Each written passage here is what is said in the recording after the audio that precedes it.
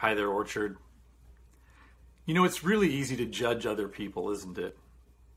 And it's a tempting thing to do when someone says or does something we disagree with or we don't like, when they blow it and make a mistake, or when they do something that's just really wrong.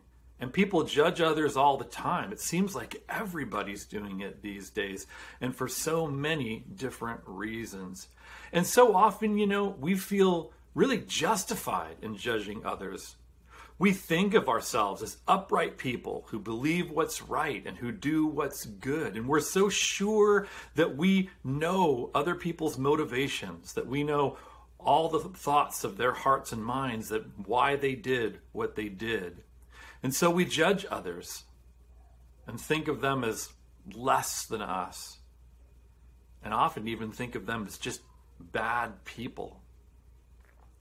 But are we really justified? You know, there's a story in the Bible about a woman who was caught in the very act of adultery. And back in that time and place, adultery was not only against the law, it was punishable by death, by stoning. But Jesus was there that day, and so the crowd asked Jesus what they thought, what, what he thought they should do.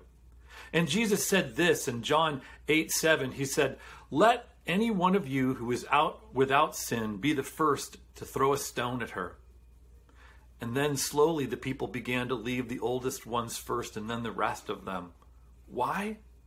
Because Jesus had reminded them that they weren't justified to judge this woman because they were sinners too, every one of them, and every one of us. You know, we also aren't really qualified to judge others the truth is that we're not always right in our opinions and assessments of things in this life, and we can never really know what's going on in another person's heart. We can never know all of the things that have happened, all of the reasons that may have led someone to do something or to not do something.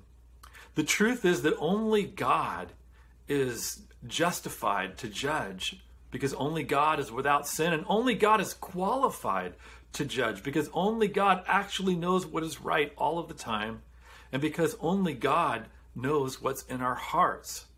And the thing is that even though God is the judge, He's always got mercy and grace for us.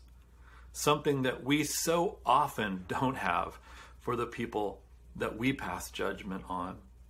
When we judge others, we're playing God and we're bad at it and it's something that's really displeasing to God. So I have a challenge for us. The next time that you're tempted to pass judgment on someone, instead, I want to call you to try and um, think the very best of them, to kind of imagine why they've done what they've done, and to cast it in the very best, most sympathetic light that you possibly can. Now, this doesn't mean that you're suddenly going to agree with them or condone what they've done, but what this can do is often soften our hearts towards others. Hearts that can become really hard sometimes. And then after we've done that, I want to call us to seek to have mercy and grace on other people. That's what God has done for us. That's what God calls us to do for others.